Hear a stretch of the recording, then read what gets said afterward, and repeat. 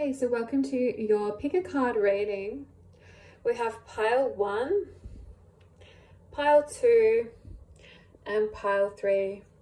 Now you can either pause the video and focus on the cards and use your intuition to select which pile and I have a message waiting for you. Okay, if you picked pile number one, we had the, I don't really know how to pronounce these crystals, but we had the Ajoite crystal.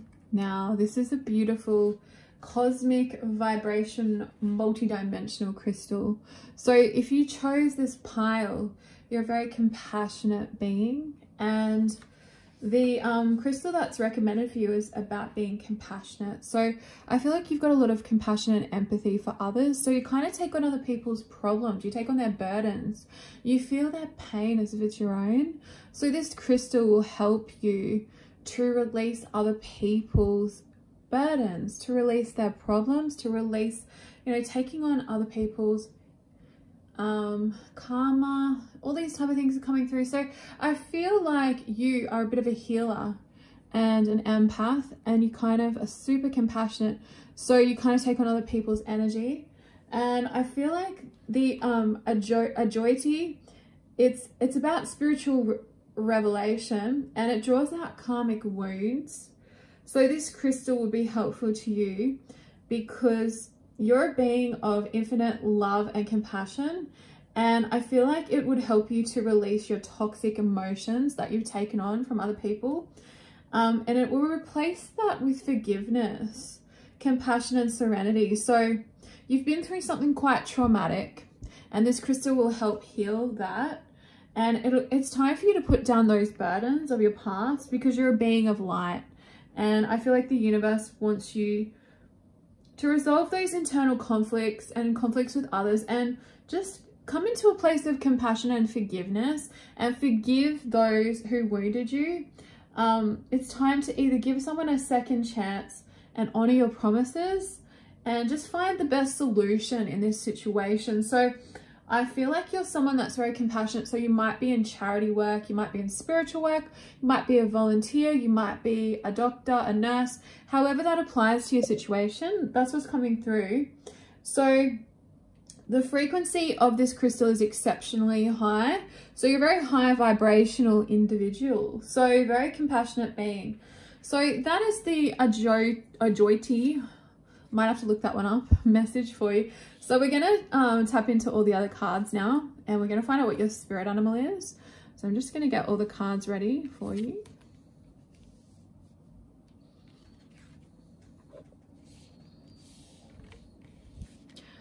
Okay, so I'm getting um, a strong message already of what has transpired with this energy. So I feel like your spirit animal is the spirit animal of the snow leopard because I feel that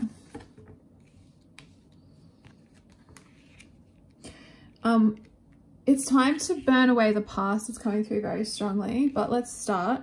So I feel like you're in the spirit animal of the snow leopard in the current moment. So your spirit animal is a snow leopard and this is a watching energy. And as you can see on this particular particular card, you've got all these spirit guides. So you're quite multi-dimensional. I feel like you're like a star seed or an empath or an earth angel of some sort. And you've got um, a connection to spirit that's multi-dimensional. And these are all your spirit guides, your spirit orbs. So you're a very rare and beautiful soul. Look at the eyes of this snow leopard. So there's also a lot of purity as well because we've got the white tiger. It's white, which is an a symbol of purity. You're very rare, very, very rare. So you're very rare masculine or feminine energy and you're kind of in the energy of the watcher right now. I feel like you're watching people and observing them because I think you've been through a lot in your life. I feel like you've got an amazing sense of humor. You make people laugh. You're this beautiful um, beacon of light. So we've got the goddess Uzume, which is all about humor. So you're very warm and compassionate and funny and beautiful energy there. So you're this beautiful, rare individual. But I feel like you're actually currently going through some trauma healing. So you've been emotionally triggered because you've got trauma trapped inside of your body. And I feel like you were feeling a little bit hung up on this situation. We've got um there is a solution for every problem. So I feel like you you were hung up on the situ situation trying to find the solution because I think you were getting emotionally triggered quite easily and this is because you had trauma trapped inside your body that needed to be faced that needed to be dealt with that needed to be healed so i feel like you've been very emotionally guarded as of late but you're this beautiful warm compassionate loving snow leopard and I just feel like you've been in the energy of resistance because you had your heart broken and you're still healing from all of that. And we've got the spirit animal of the raccoon. So I feel like there's um, an element of shame. So you might have a solar, a sacral chakra blockage there. Um, I think it's time to burn away the past, really let go of these burdens. So I feel like you're like a phoenix rising right now. And this really flew across the room when I was shuffling the cards. So it's a very strong message about burning away the past and turning and transmuting that energy and healing yourself. Um, there's a lot of shame. There might be some insecurities or self-consciousness as well. But your guidance here is I release all blame and turn within to seek the truth. So you've been ashamed of yourself and you've been blaming yourself and feeling guilty. And that's what this raccoon spirit animal is coming through. So I just feel like you're kind of observing and sitting back and watching it life because there's an element here of resisting connecting with people. But the universe is saying, I release all blame and turn within to seek the truth. So I affirm that I am willing to release the causes and patterns in my consciousness that are creating any negative conditions in my life. So I think there's an element here that you're blaming yourself for something um, and it wasn't your fault. So it's time to let go of that. It's time to stop being stuck and hung up on this. Um, I feel like, you know, it's time to burn away this, this thought in your mind and your consciousness start to get back to the essence of who you truly are. We've got this gorgeous sense of humor here. It's time to laugh again. It's time to be happy. Um, release all of the guilt and all the blame and just go within and listen to your intuition. You know, because you're this beautifully gifted snow leopard, that um, it's not your fault, whatever happened here. It's not your fault. You're a beautiful, compassionate person. And it's time now to be resilient and burn away the past. And um, I'm going to take this over to the extended reading now. We're going to find out a little bit more on this situation. We're going to find out, you know, exactly what happened here, um, how you can burn away the past, what your emotional triggers are, and what it is you're resisting. You might be resisting, um, yeah, resisting things that could bring in healing. But we're going to take it over to the extended reading. We're going to find out any chakras that are blocked, anything that's blocking you from your manifestations and anything else that we, we might be able to get from the universe that's useful in your situation.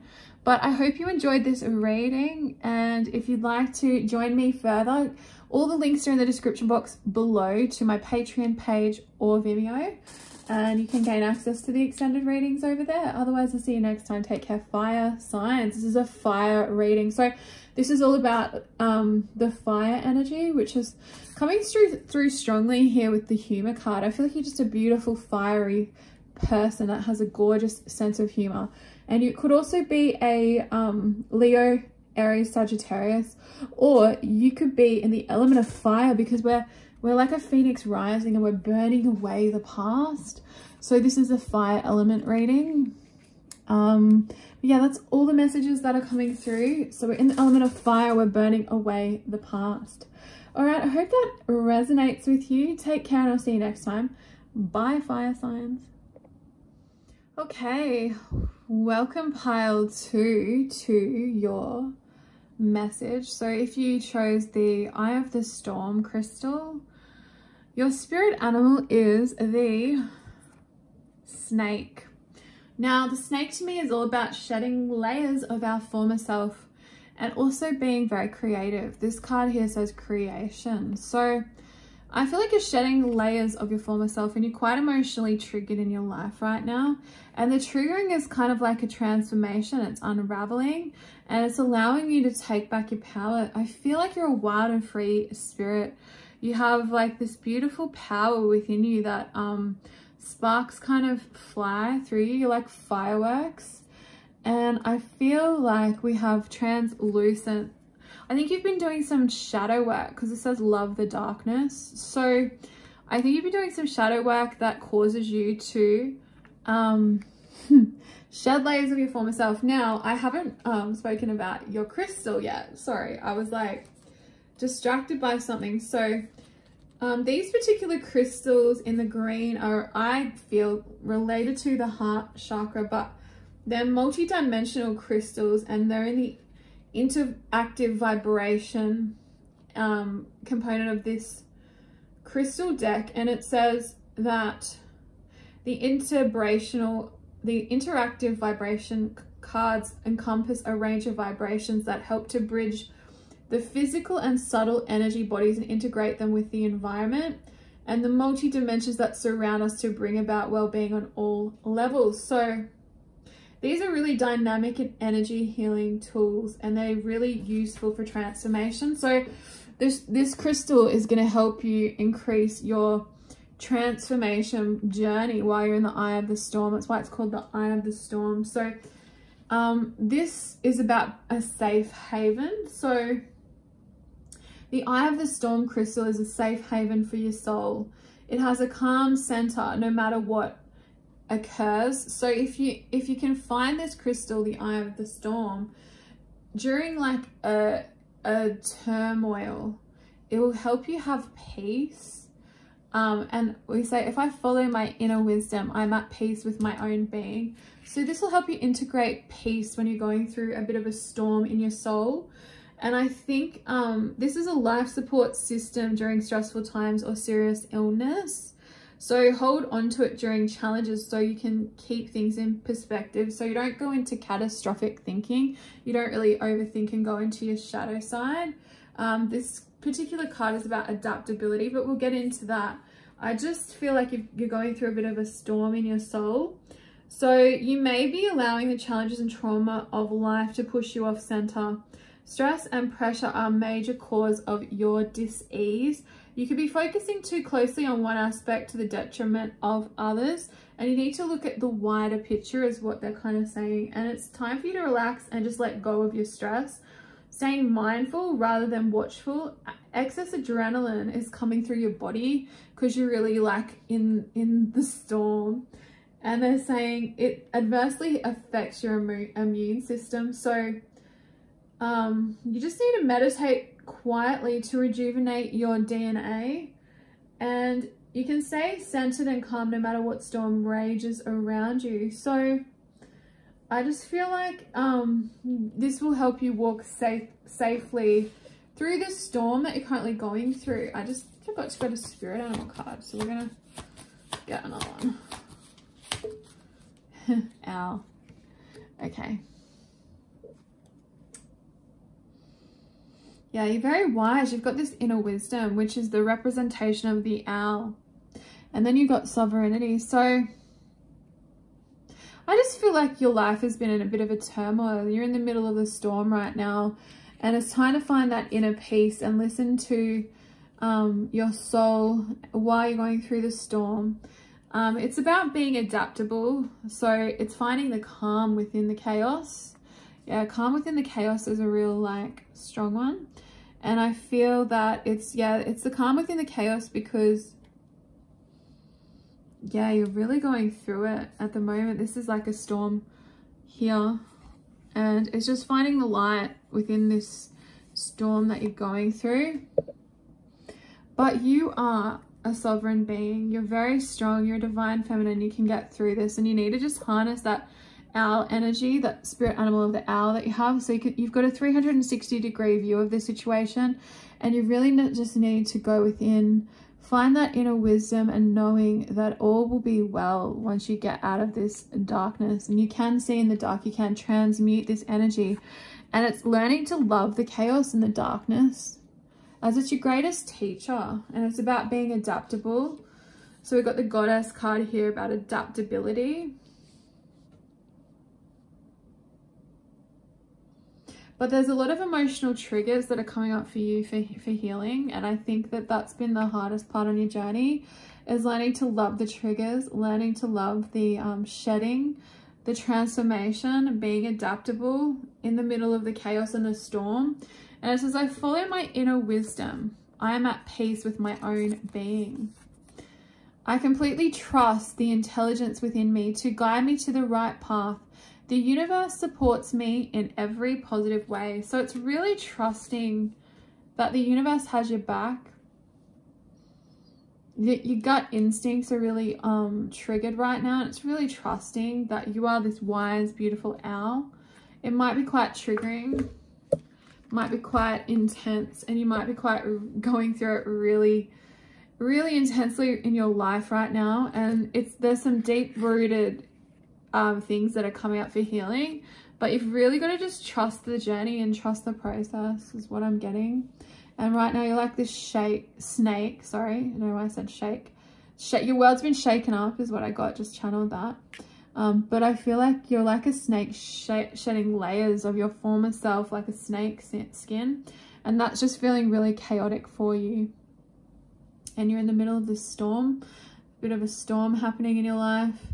And you're learning to adapt to the ever-changing conditions of this storm. It's probably it's probably been like, you know, you know, one day it's pouring rain, the next day it's lightning, the next day it's hail. And you're like, is this storm ever going to end? And it's about adapting. So you know, the first day it was like pouring rain and you were getting drenched and then you adapted to that and then there was hail and now everything's like hitting you from all directions. It's just about adapting and finding those, um, yeah, those shields, those, those, um, protections and shedding, um, all the things that no longer serve you. That's the vibe I'm getting. So I'm going to take that over to the extended reading now and we're going to find out a little bit more on your journey um, here of like what else we can do to heal and know, what else wants to come through for you. But yeah, that's your message here, pile two. I hope that resonated. Take care. All the information is in the description box below if you'd like to get a little bit more. Um, all my messages um, for the extended readings on Vimeo and Patreon. Take care. Okay, pile three, we have the Rainbow Mayanite crystal is the one that you guys had come up and your spirit animal is the seahorse and it's about inequality equality sorry. So we're going to get into the rainbow mayanite crystal and why that was relevant for you. The um the rainbow mayanite is about the cosmic um, multi-dimensional frequency. So you're multi-dimensional and i feel like you operate at an exceedingly high resonance way beyond the physicality of earth. So it's the highest dimensions of all. So you're a realm of star being spirit and unity consciousness and you assist spiritual well-being channeling higher consciousness to earth. So these crystals will help you if you're a reader a channeler. And they're exceptionally high vibrationals and they work at the level of the spirit and the soul. So that's really beautiful. Now we're going to find out the rainbow mayanite. It's actually the note crystal known as the rainbow bridge. So it's the bridge between dimensions. So the rainbow mayanite bridges this world and the rest of creation. It heals unconditionally and assists the shift to a new level of consciousness. So you need to understand that you're a leader and when you raise your frequency and your vibration, the whole collective consciousness benefits. So you're de-energizing old patterns and releasing karmic incrustations and toxic dross from your etheric body. So this crystal will assist this. Um, so you need to go within to find your rainbow and raise your consciousness to build new supportive structures at every level. So this is about really expanding your consciousness and using this energy of this crystal to begin to be able to channel these higher frequency energies and raise that vibration. And it's about recognizing how your soul is maneuvering you onto your true pathway. So, um, detrimental situations in life actually offer soul gifts so you need to re-examine some projects and let go of any that aren't of your highest good or good for others and try and see things from a new perspective. And it's about always speaking the truth no matter what the cost, but also being mindful and tactful about your approach. Um, and you've also got a natural healing ability and this will this crystal will help you to focus on it and use it wisely. So this is about letting go and attuning to you to your highest possible outcome. So that's that crystal. And then we've got here the spirit animal of the seahorse. So I feel like you've been in an unfair situation with a masculine energy. I feel like you haven't treated someone fairly or you're the one that's been treated unfairly.